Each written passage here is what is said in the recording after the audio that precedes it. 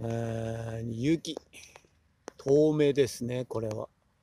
遠目だからどのくらいで、もうそっから味見で、あんまりターンで振り回さずに、こうジグザグに寄せてきた方がいいでしょうね。もう全然いいって。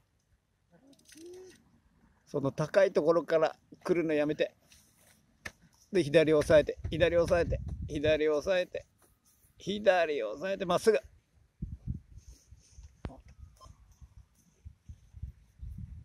慌てないで、いいフォームを慌てないで足動かして、慌てないで足動かして。そういう時にやっぱり目線だよね、やっぱり。目線が前にないから、傾いていく方向にしか気持ちもないし、そこ耐えられないよね、それだと。